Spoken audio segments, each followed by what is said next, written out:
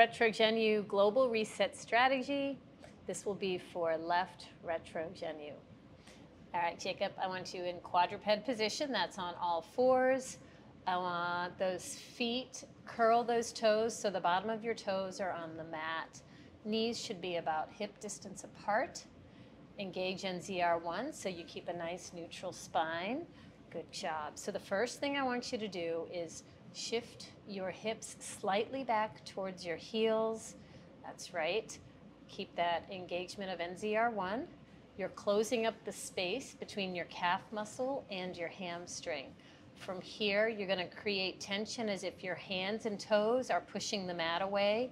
Raise those hips up, keep them back, don't let them come forwards.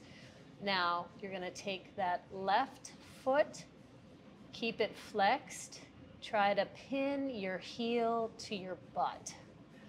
And now raise that leg up from the hip, keeping this engaged. Drive it as high as you can towards the ceiling.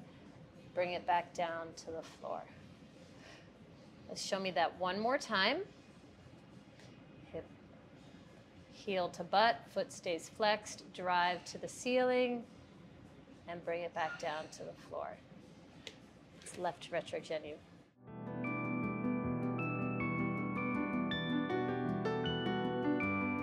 This is the progressed version of Global Reset Strategy RetroGenu.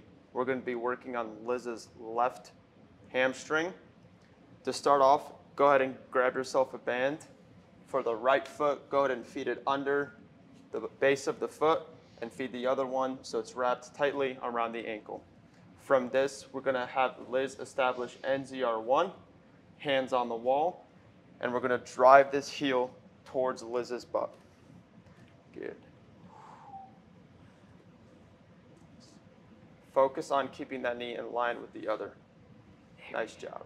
That is the progressed version to RetroGenu Global Reset Strategy.